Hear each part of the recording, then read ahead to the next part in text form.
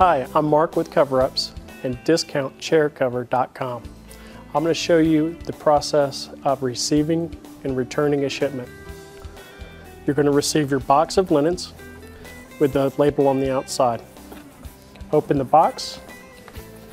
You'll also find instructions on how to return the linens. On the very top of the box, you're going to find a return bag. It's already going to have your return label on there attached to it. Please do not lose that. You will receive your linen neatly pressed, ready for install. Once you're through with the event, you're going to shake the tablecloth free of debris, making sure that it's not wet.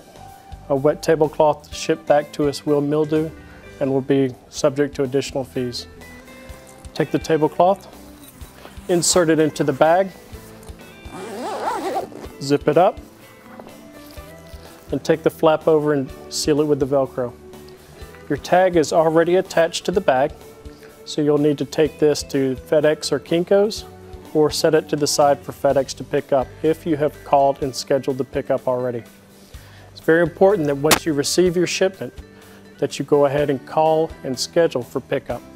FedEx will not come and pick up on the day that you call them. Thank you for allowing us to participate in your event.